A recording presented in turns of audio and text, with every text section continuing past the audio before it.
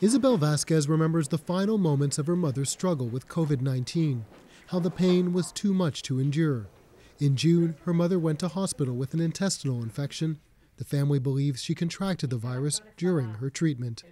It was very painful when they told me that news, she says. My mother cried out, No more.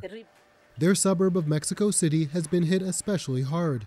Seven people on their street have died. A lot of people continue as if nothing is happening because they haven't lived it firsthand like we have lived it. Mexico has more than half a million cases and is third in the world in deaths with close to 60,000. But the fear is that number is actually two to three times higher because mass testing is rare in Mexico. Kiosks like this, set up by Mexico City's mayor, are the exception rather than the rule. Que tiene poquito It's a challenge to try to convince a patient who may have minimal symptoms to go and get tested and seek early medical attention.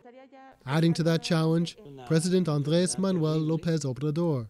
He rarely wears a mask, argues testing isn't necessary, and says prayer and good luck charms will protect him.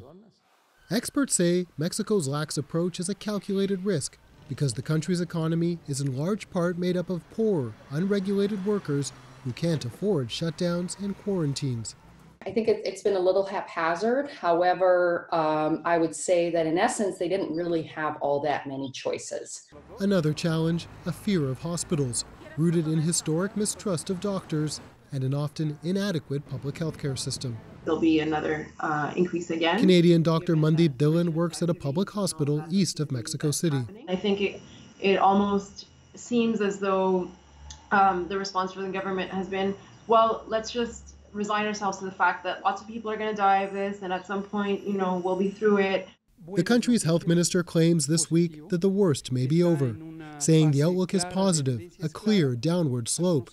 But that's a small comfort in a country where, like so many places, the poor are paying the highest cost, and the virus's true toll may not be known for months or years to come.